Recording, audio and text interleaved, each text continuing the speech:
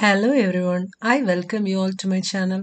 In this video, we are going to discuss a topic from Unit 4 of Embedded and Real-Time System, Estimating Program Runtimes. So first, let us know what is execution time.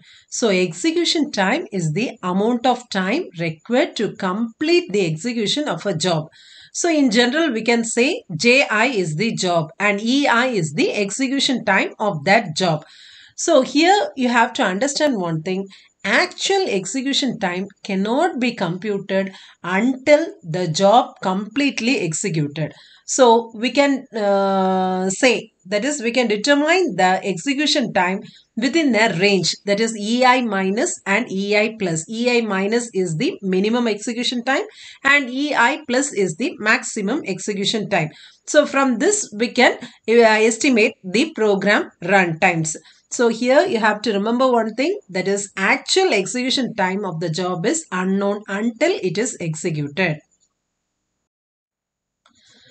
So for the purpose of determining whether the each job can always complete by its deadline, here the maximum execution time of each job should be known.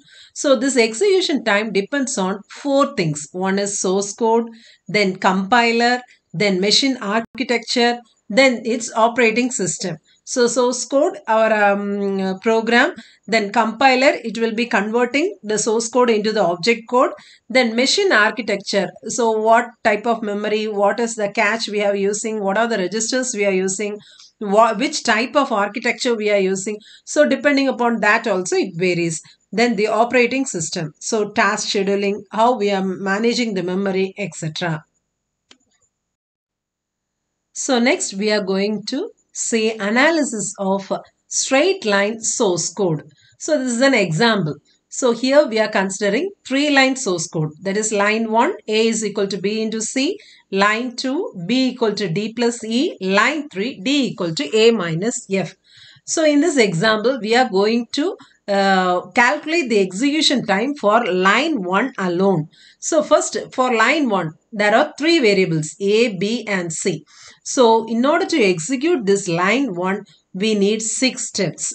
That is in the first step, first we have to get the address of C, then load the value of C. Next, get the address of B, load the value of B, then multiply B and C and store the result in A. So totally there are 6 steps to complete the execution of line 1. Now using this we can calculate the execution time. So execution time of line 1 is summation i is equal to 1 to 6. So this denotes the steps that is L1.1, L1.2, L1.3, L1.4, L1.5 and L1.6. Then T execution that is execution time L1.i. So by adding these 6 execution time you will be getting the execution time of line 1. So there are two good reasons for the use of deterministic approach. That is why we go for this deterministic approach. The first thing is many hard real-time systems are safety critical. So here uh, if we execute a job for first time you will be getting one execution time.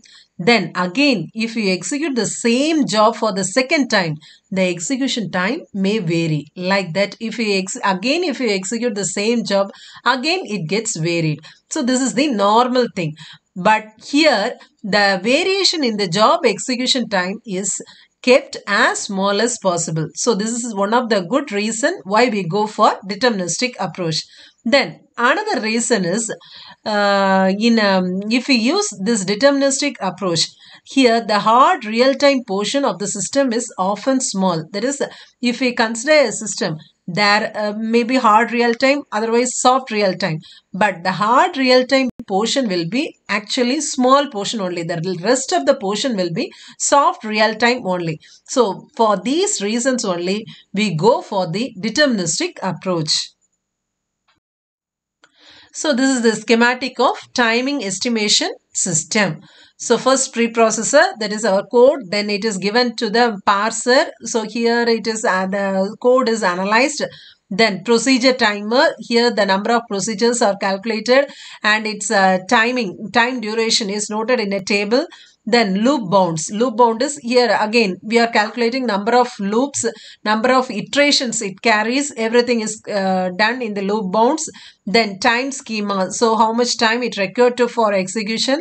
Then code prediction, architecture analyzer.